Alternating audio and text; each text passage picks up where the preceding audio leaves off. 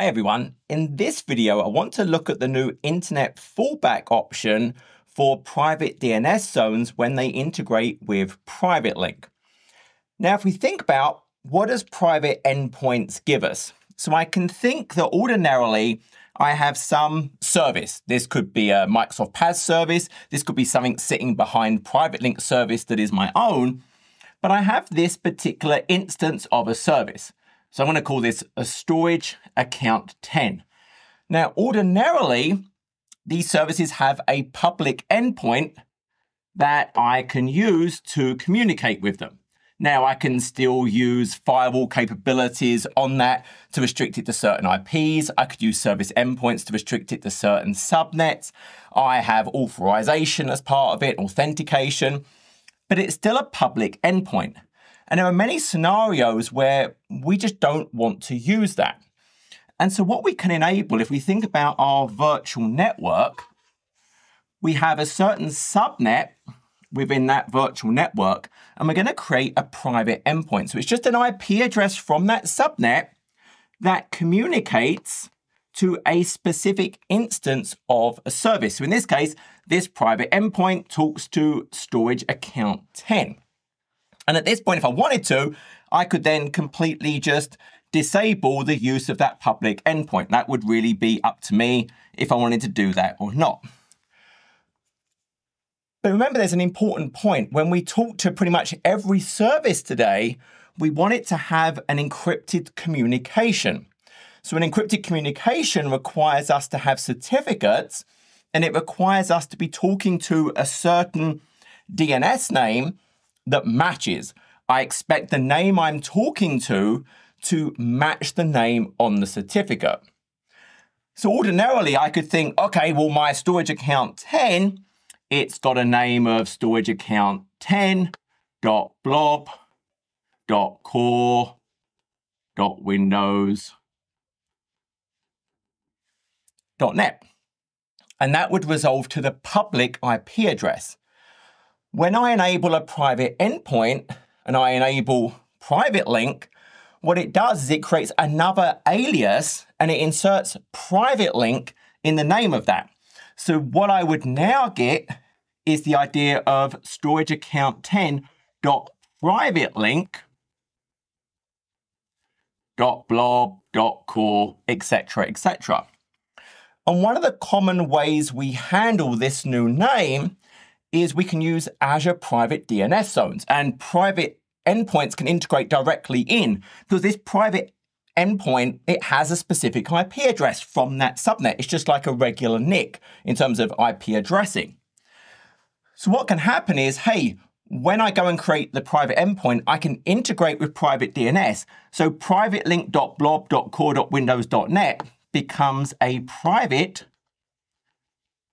DNS zone it would have the record, so there would be a record in here for storage account 10, which would then be .private link.blob.core.windows.net. And then I link that instance of the private DNS zone to my virtual network. So now any resource that's in this virtual network, when it talks to Azure DNS and it asks for, hey, who is storage account 10.blob.core.windows.net, it will go and see there's an alias for storage account 10.privatelink.blob.core.windows.net, which can now resolve because of this link. And so it would actually go ahead and resolve fantastically. I'm good to go. We can see this. So if we super quickly jump over for a second, so let's go and look at the portal. So in here, I have this storage account 10. You can see I've created a private endpoint. If we look at the private endpoint, we can see that it has been linked and created in the infra subnet of this particular virtual network. And then additionally, you have a DNS configuration. And what I've done is we can see if we look at the private DNS zones, I have a private link.blob.core.windows.net. If we look at the record set, we can see, sure enough, there's a record exactly for that that resolves to the IP address from within that infra subnet. And then you link this particular instance of the private DNS zone to my virtual network. So now I'm inside a virtual machine that's on that same virtual network. And if I do an NS lookup, well, we can see it knows about the fact that there is this alias available that is the private link.blob.core.windows.net, and it resolves to that private IP address instead of the public endpoint. So, so far, this looks fantastic and we are super happy. Now let's consider there's another storage account. So now we're going to say there's storage account 2. It too has a public endpoint that has not been enabled, sorry, disabled. For this scenario, yes, they're going to have a private endpoint, but they're still okay with things talking to the public endpoint as well. Now, it just so happens there's a completely different virtual network. There's a completely different private endpoint that talks to that one.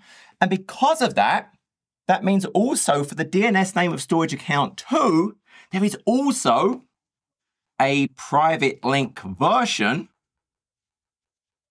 of the name. However, it's a larger company, and this is very common. They created another private DNS zone, but it's a different instance. It's got the same name, but it's a completely different instance of this zone that is then linked to their particular virtual network. And this different instance of the private link.blob.core.windows.net has the record for storage account 2 that resolves to this private IP address. And remember, these VNets may not be peered. This can't get to that private IP anyway, so I maybe wouldn't even want it to be able to resolve to the private IP. I want to just go and use the public endpoint. But the problem is, when I'm a resource inside this virtual network, and I do an NS lookup for storage account 2.blob.core.windows.net, it's still going to tell me that, oh, there's a private link version of this name. So then I'm going to go and query the private link zone because it's mapped, but it doesn't have this record in it. It's in a different instance. So it's going to give me an NX domain, a non existent domain response saying, I can't resolve it, I give up. So now I'm stuck. I cannot get to the resource. And if we look at this quickly, so if we go and jump back over, we can see this in action. I have another storage account with exactly that configuration, and it, it's failing. It's not giving me any IP address. And the reason for that, if we go and look, so that storage account 2 absolutely has its own private endpoint and it's in a different virtual network.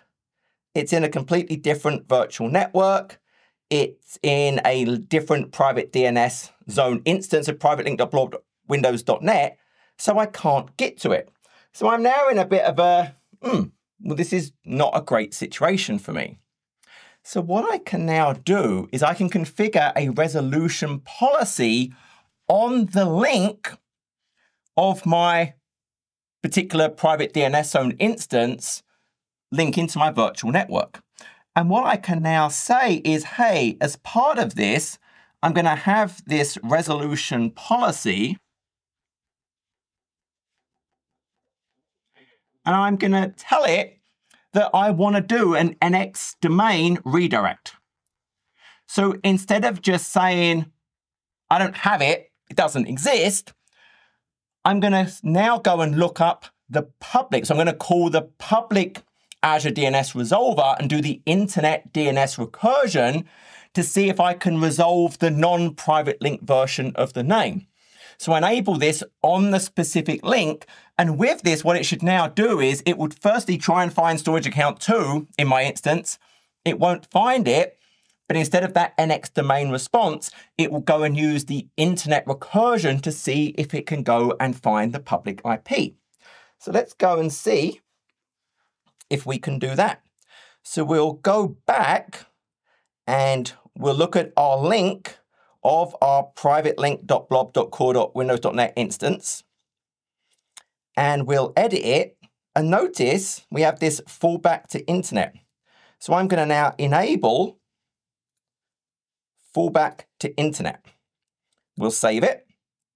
And I need to wait for it to finish. So it's going to take maybe 10, 15 seconds for that to complete. But once this completes, then we'll just try and run that NS lookup again. So that has now completed. We can see the link has now got fallback to internet enabled. So if I jump back over to that virtual machine and try the same NS lookup again, happy, happy days. It knows that yes, there is still this idea of there's a private link version of it, but because I have that fallback to internet in the case of an NX domain, it now resolves it to the public IP address of the public endpoint, and I would now be able to go and get access to it. And we would now be happy and all things are right in the world. And that's it. I mean, that's all I wanted to cover in this video, but this can be a huge pain point for many organizations because they do end up with many different virtual networks. They're all using private endpoints to the same services. They all have their own instances of the private link.blob.core or the database or data lakes or you name it. They're all going to end up with these particular private DNS zone instances and they're all separate and so if there's an instance of I do now have some resource that is behind a private endpoint, and I want it though to still be able to use the public endpoint for other networks, now when I turn on this NX domain redirect, it will make that happen. I hope that was useful. Until next video, take care.